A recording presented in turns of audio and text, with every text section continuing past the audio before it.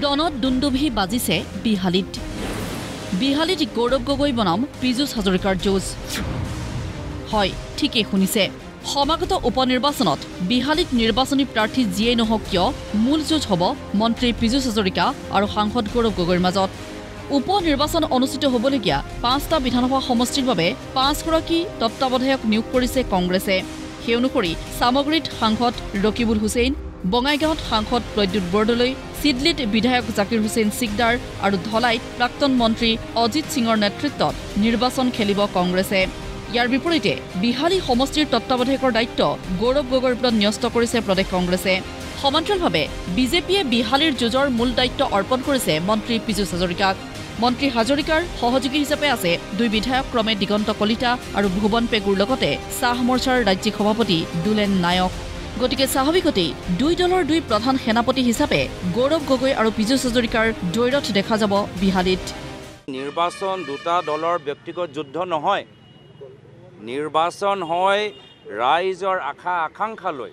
এতিয়া বিহালী ৰাইজে হিচাপ বিচাৰিব যে অসম অৰুণাচল সীমান্তৰ অঞ্চলৰ সমস্যাবোৰ সমাধান হ'লনে নাই।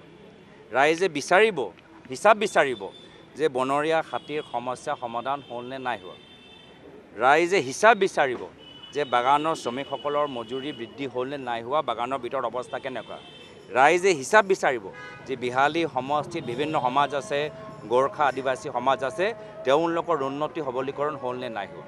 বিহালীত গৌৰৱ গগৈৰ আগতীয়া ৰণচালীৰ সমান্তৰালকৈ তৎপৰ হৈছে বিজেপিও।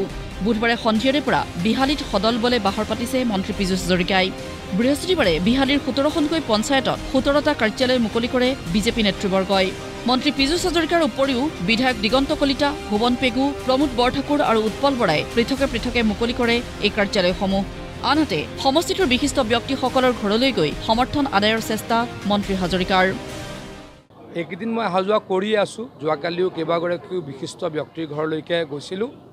সকলোৱে আমাক আশীৰ্বাদ দিয়া পৰিলক্ষিত হৈছে। সকলোৱে জানে যে হিমন্ত বিশ্ব শৰ্মা ডাঙৰীয়াৰ নেতৃত্বত অসমে প্ৰাণপ্ৰায় প্ৰাণপ্ৰায় উঠিছে। অসমৰ যথেষ্ট কাম হৈছে। গতিকে উন্নয়নৰ যি এই গতি এই গতিক ৰুদ্ধ কৰিব নালাগে।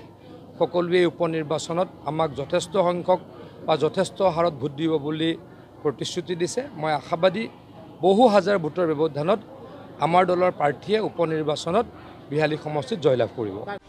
উল্লেখযোগ্য যে বিগত দিনকেইটাত বিহালীত অতি তৎপৰ ৰূপত দেখা গৈছিল সাংসদ গৌৰৱ গগৈক বিশাল ৰেলী পথসভা আৰু বাৰ্তালাপৰ যোগেদি ভোটাৰৰ কাষ চাপিবলৈ চেষ্টা কৰা গৌৰৱ গগৈৰ পিছে পিছে সমানেই তৎপৰ বিজেপিও। ইলেকশ্যনত সকলোবিলাক ৰাজনৈতিক দলে প্ৰচাৰ চলাব সকলোবিলাক নেতাই প্ৰচাৰ চলাব আৰু প্ৰচাৰৰ পিছত আপোনালোকে গম পাব কোন জিকিলে কোন হাৰিলে সেই গোটেই কথাখিনি পৰৱৰ্তী পৰ্যায়ত ওলাব। মই ভাবোঁ যে যোৰহাটৰ পুনৰাবৃত্তি এইবিলাক যিবিলাক কথা ওলাইছে সেইবিলাক কথাই বিশেষভাৱে এই সমষ্টিটোৰ উপ নিৰ্বাচনত প্ৰভাৱ নেপেলাব। উল্লেখ্য যে ইয়াৰ পূৰ্বেও বিগত লোকসভা নিৰ্বাচনত যোৰহাটত গৌৰৱ গগৈৰ বিৰুদ্ধে যুঁজৰ নেতৃত্ব লৈছিল মন্ত্ৰী পীযুষ হাজৰিকাই। প্ৰচাৰৰ সময়ত প্ৰাৰ্থী তপন গগৈৰ তুলনাত মন্ত্ৰী হাজৰিকাকহে অধিক তৎপৰ দেখা গৈছিল সভাই সমিতিয়ে। কিন্তু প্ৰথম ৰাউণ্ডৰ সেই যুঁজত বিজয়ী হৈছিল গৌৰৱ গগৈ। গতিকে দ্বিতীয় ৰাউণ্ডত কোনো ৰিস্ক ল'ব খোজা নাই বিজেপিয়ে। স্বাভাৱিকতেই গৌৰৱ গগৈ বনাম পীযুষ হাজৰিকাৰ মাজত। অৱশ্যম্ভাৱী হৈ পৰা এই যুঁজে গৰম কৰি তুলিছে সেমেকা হৈ থকা বিহালীৰ ৰাজনৈতিক পৰিৱেশ। বিহালীৰ পৰা দিগন্ত শইকীয়াৰ সহযোগত অমৰেন্দ্ৰ ডেকাৰ ৰিপৰ্ট প্ৰতিদিন টাইম।